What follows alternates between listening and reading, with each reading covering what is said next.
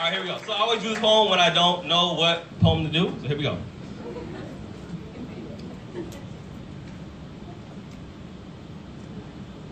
So there's this thing, it's called volcano surfing.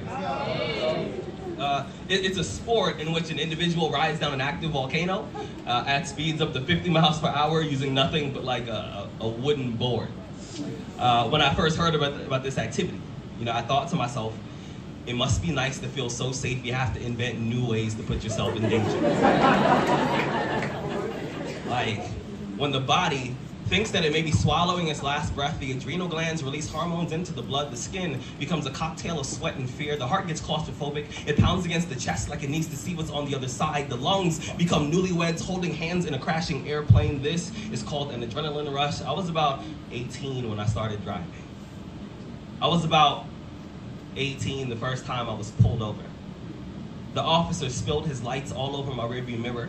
He splashed out of his car with his hand already on his weapon. He looked at me the way a tsunami looks at a beach house, and I could tell that he's the kind of man who brings a gun to a food fight. He called me son, and I thought to myself, that's an interesting way of pronouncing boy. He asked for my license, registration, and wants to know what I'm doing in this neighborhood. If the car is stolen, if I have any drugs. And most days, y'all, I know how to grab my voice by the handle. I know how to swing instead, I picked it up like a shard of glass, scared of what might happen if I didn't hold on to it carefully because I know that this much melanin, that uniform, is a plotline to a film that can easily end with the chalk outline baptism. Me trying to make a body bag look stylish for the camera and becoming the newest coat in a closet full of RIP hashtags. Once, a friend of a friend asked me why there weren't more black people in the X Games, and I said, You don't get it.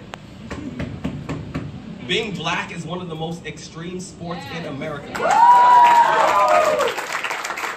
We don't to invent new ways of risking our lives because the older ones have been working for decades. Jim Crow may have left the nest, but our streets are still covered in its feathers. Being black in America is knowing there's a thin line between a traffic stop and the cemetery. It's the way my body tenses whenever I hear a police siren in a song. It's the quiver in my stomach whenever there's a cop car behind me. It's the sigh of relief when I turn right and he doesn't. Being black in America is knowing, is knowing that you aren't safe in a hoodie, a t-shirt, a tuxedo. Being black in America is knowing that you aren't safe in a church, at a pool, in a classroom. Hell, I don't need to go volcano surfing. I have an adrenaline rush every time an officer drives past without pulling me over.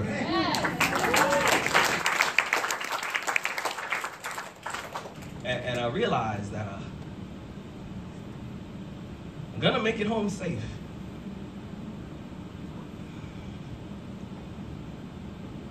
This time. Thank you.